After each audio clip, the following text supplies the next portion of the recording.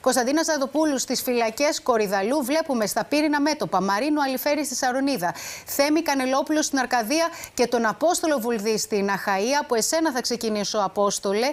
Είναι σε εξέλιξη μεγάλη φωτιά που ξεκίνησε από την Αχαία, όμως έχει επεκταθεί πλέον στο νομό Ηλίας.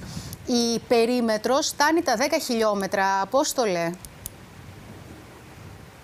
Καλησπέρα Κατερίνα. Πράγματι μιλάμε για μια πύρινη κόλαση, μια φωτιά που έχει ξεκινήσει από τις 2 περίπου το μεσημέρι και που είναι σε πλήρη εξέλιξη. Μπορείτε να δείτε ε, μόλις πριν από μερικά δευτερόλεπτα ένα ακόμη μέτωπο δημιουργήθηκε και οι πυροσβεστικές δυνάμεις δίνουν μάχη αλλά και οι κάτοικοι προκειμένου να μπορέσουν να απομακρύνουν τις ε, φωτιές από τα σπίτια τους. Να σας δώσω να καταλάβετε ότι το σημείο που βλέπετε βρίσκεται μόλις 50-60 μέτρα από τα πρώτα σπίτια του χωριού. Η φωτιά πρέπει να σου πω Κατερίνα ξεκίνησε γύρω στις 2 το μεσημέρι στην περιοχή Μαστραντώνη μέσα σε κλάσματα δευτερολέπτου. Ε, η φωτιά επεκτάθηκε πάρα πολύ γρήγορα πριν ακόμη προλάβουν να ε, φτάσουν οι πυροσβεστικές δυνάμεις είχαν καεί μεγάλες εκτάσεις ή, λόγω των ισχυρότατων ανέμων που έπνεαν και πνέουν στην ε, περιοχή 6-7 πολλές φορές και 8 μποφόρ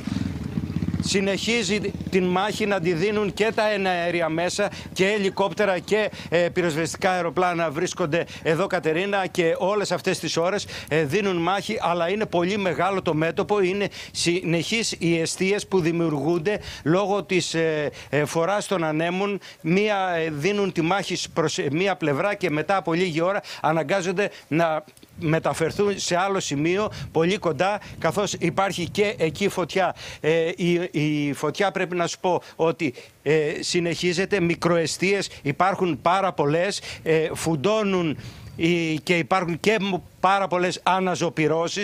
Είναι πυκνοί οι καπνοί που υπάρχουν εδώ στην περιοχή. Σε κάποιες στιγμές νομίζαμε ότι είχε νυχτώσει και δεν θα έρχονταν τα πυροσβεστικά αεροπλάνα.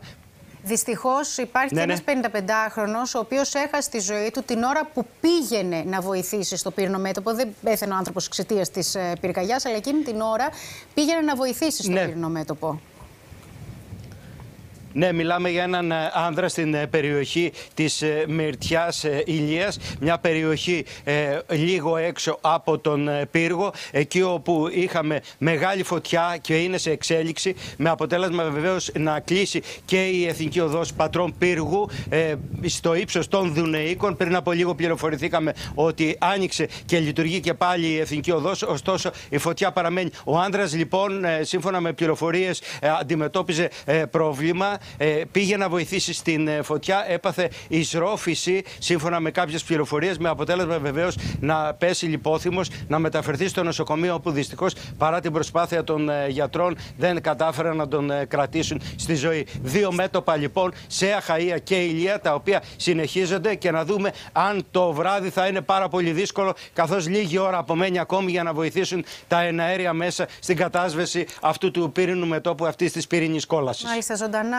ήταν ο Απόστολος Βουλδί. Σήμερα ήταν μια εξαιρετικά δύσκολη μέρα για την εκδήλωση πυρκαγιών, καθώς η ζέστη, η ξηρασία και βεβαίως οι ισχυροί άνεμοι δημιούργησαν αυτό το εκρηκτικό κοκτέιλ. Ξέσπασαν περισσότερες από 60 πυρκαγιές, με εκείνες στην Αχαία, στο Κρανίδι, τη Μεσσηνία και την Κεφαλονιά να είναι μεγαλύτερες.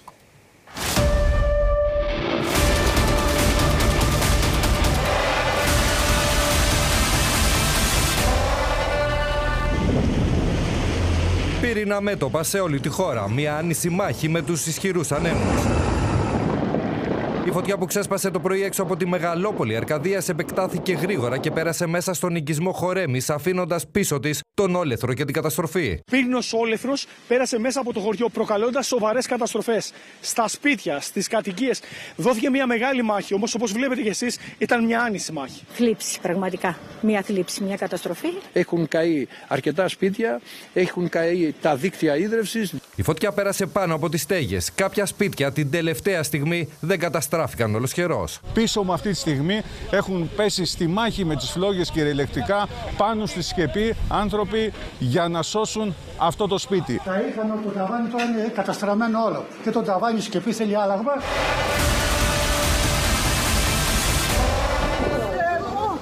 Η φωτιά στο κρανίδι πλησιάζει απειλητικά και οι φλόγες μπαίνουν στα πρώτα σπίτια από την ανατολική πλευρά. Μόνο, μόνο επίγειες δυνάμεις. Οι κάτοικοι έλαβαν μήνυμα από το 112 να απομακρυνθούν προς Πόρτο Χέλη και Ερμιόνι. Ένα ελικόπτερο του υπάρχουν. Και λέει έρχεται. Οι πυροσβέστες βρίσκονται σε κατάσταση συναγερμού και δίνουν μεγάλη μάχη για να προστατεύσουν τα σπίτια, καθώς οι άνεμοι πνέουν με μεγάλη ένταση.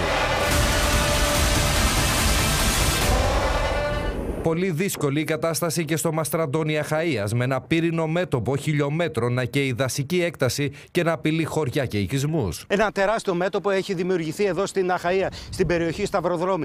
10 χιλιόμετρα φωτιά σκαίνε τα πάντα στο πέρασμά τους. Δημιουργούνται αντιπυρικές ζώνες, ενώ πρέπει να πούμε ότι ένα σπίτι έχει καεί. Υπάρχουν αέρια μέσα που δίνουν μάχη αυτή τη στιγμή. Δυστυχώς οι πληροφορίες μιλάνε για καμένα σπίτια. Καλαπερουσίε έχουν καεί τεράστιες αγροτοδασικέ κτλ. Προσπαθούμε να μην υπάρχουν σπίτια που θα καούν. Αργά το απόγευμα, μεγάλη φωτιά ξέσπασε και στην Ηλία, στη θέση Φραγκοπίδημα.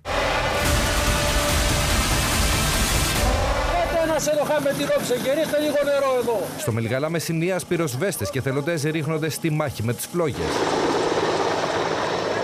Από ψηλά συνδράμουν τα εναέρια μέσα.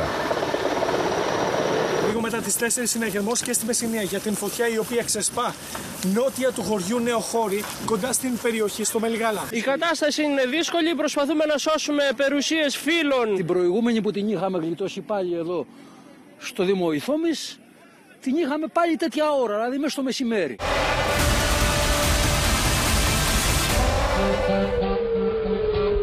Η υδροφόρα του Δήμου, εναέριες και πήγε δυνάμεις της πυροσβεστικής πρόλαβαν τη φωτιά στο μαύρο λιθάρι στην Ανάβησο πριν επεκταθεί και την έσβησαν μέσα σε δύο ώρες. Παραμένουμε σε επιφυλακή όλες τι δυνάμεις πολιτικής προστασίας, τα μηχανήματα έργου μέχρι να πέσει ο αέρας. Φωτιά ξέσπασε και στην κεφαλογιά σε δασική έκταση στην περιοχή Διβαράτα. Το πύρινο μέτωπο μένεται πάνω από τον Μύρτο.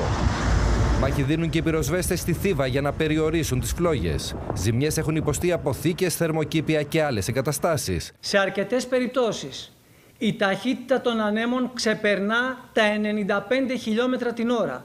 Γεγονός που δυσκολεύει την προσέγγιση των εναερίων μέσων και οι πιλότοι μας καταβάλουν κάθε δυνατή προσπάθεια προκειμένου να προσεγγίσουν με ασφάλεια τα πύρινα μέτωπα. Μεγάλη προσοχή χρειάζεται και το Σάββατο που θα επικρατούν πάλι ακραίες συνθήκες για την εκδήλωση και εξάπλωση πυρκαγιών.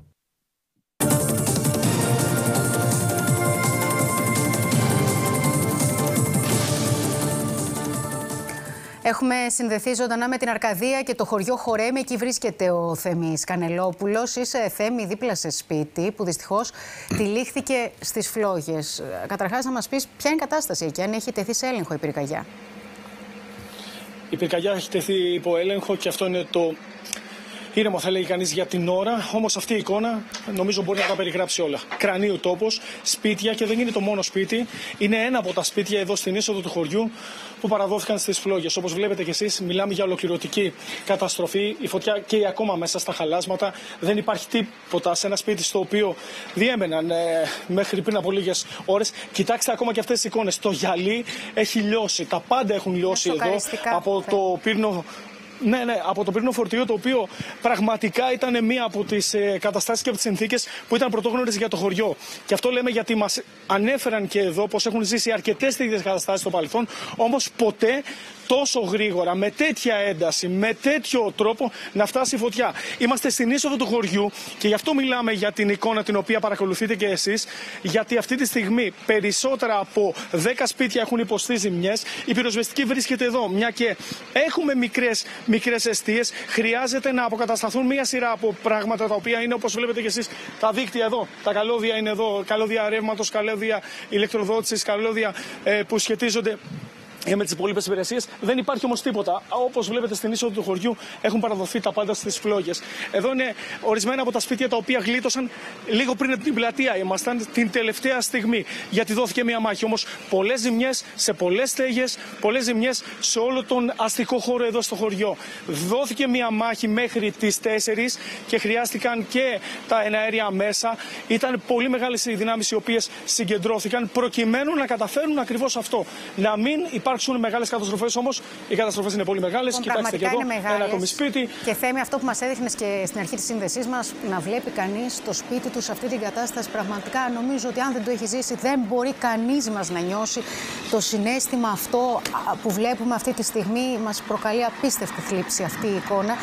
Να ευχαριστήσουμε πολύ τον α, Θέμη Κανελόπουλο ζωντανά από την Αρκαδία και τώρα θα δούμε την εικόνα από το κρανίδι. Θα μας τη μεταφέρει ο Τάκης Κούρος και θα μας περιγράψει Στάκη την κατάσταση που επικρατεί αυτή τη στιγμή εκεί. Δραματικές ώρες, στιγμές αγωνίας θα έλεγε κάποιος από το μεσημέρι όταν ξεκίνησαν να φαίνονται οι πρώτοι καπνοί, θα δείτε πίσω ε, το κρανίδι, οι πρώτοι καπνοί εδώ στο κρανίδι. Δίπλα στα σπίτια, μέσα στις αυλές. Άρχισε η φωτιά και έμπαινε. Έτσι λοιπόν και οι κάτοικοι με τα ίδια τους τα χέρια, με ό,τι μέσα είχαν, προσπάθησαν να σώσουν τις περιουσίες τους.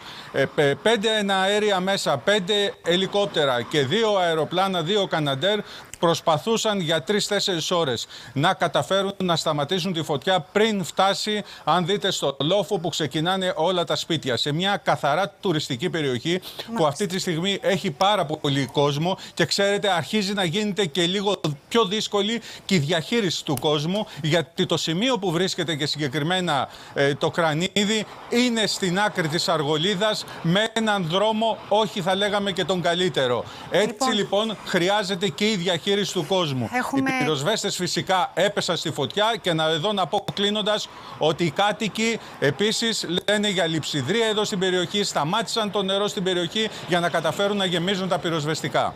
Μάλιστα, Τάκης Κούρος, να σε ευχαριστήσουμε πολύ και θα μεταφερθούμε από το Κρανίδι στη Σαρονίδα, όπου η ένταση των ανέμων παραμένει δυστυχώς στα ύψη. Βλέπουμε το Μαρίνο Αλιφέρη που θα μας δώσει την εικόνα. Οι δυνάμεις Μαρίνο, εξαιτίας των ισχυρών ανέμων, παραμένουν πολύ ισχυρές στην περιοχή.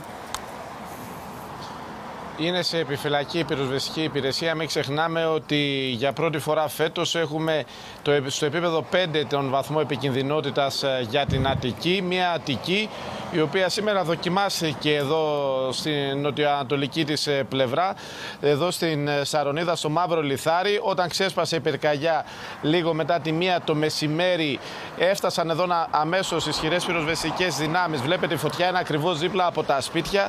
Ε, εστάλει 112 να φύγει ο κόσμος προς την κλειφάδα. Εκενώθηκαν ε, κατασκηνώσεις ε, με παιδιά που υπήρχαν στην περιοχή. Ευτυχώς, παρά το γεγονός ότι υπήρξε μια κυλίδωση εκατοντάδες μέτρα μακριά, η πυροσβεστική κατάφερε και την έσβησε αυτή τη φωτιά και δεν επεκτάθηκε περισσότερο, δεν μπήκε μέσα στις αυλές των σπιτιών που βλέπετε ότι σε πολύ μικρή απόσταση έφτασαν οι φλόγες. Μαρίνο, Κατερίνα. μια και είπες για το 112, είπαμε στην αρχή του δελτίου μας ότι υπήρξε κάποια στιγμή και ένα πρόβλημα με το 112 και θέλω να σε ρωτήσω να εξηγήσουμε τι ακριβώς συνέβη. Τώρα, βέβαια, ευτυχώς έχει αποκατασταθεί το πρόβλημα. Για περισσότερη από μια μισή ώρα, ε, Κατερίνα, η πυροσβεστική υπηρεσία, το Υπουργείο ε, Πολιτικής Προστασίας δεν είχε την δυνατότητα να στείλει μηνύματα 112 σε πολίτες, σε περιοχές όπου βρίσκονταν σε άμεσο κίνδυνο. κίνδυνο και ζητούσε μέσω μηνυμάτων που στέλνονταν ε, στους διαπιστευμένους συντάκτες στη συνέχεια να γίνεται η ενημέρωση των πολιτών. Τι συνέβη τώρα; Περίπου στις 5 παρα 5 προσπάθησαν από, το, από την πολιτική προστασία να στείλουν ένα ακόμη μήνυμα 112 σε περιοχή της Πελοποννήσου που δοκιμαζόταν εκείνη τη στιγμή. Όταν έστειλαν λοιπόν, ε, όταν έδωσαν την εντολή για να φύγει αυτό το μήνυμα, Είδαν να ότι δεν πάει στα έφτασε. τηλέφωνα των πολιτών, δια, διαπίστωσαν ότι δεν έφτασε. Επικοινώνησαν με τους ε, τοπικούς φορείς, όπου επιβεβαίωσαν αυτή την πληροφορία που είχαν και στην πυροσβεστική και στην πολιτική προστασία, ότι δεν πήγε το μήνυμα.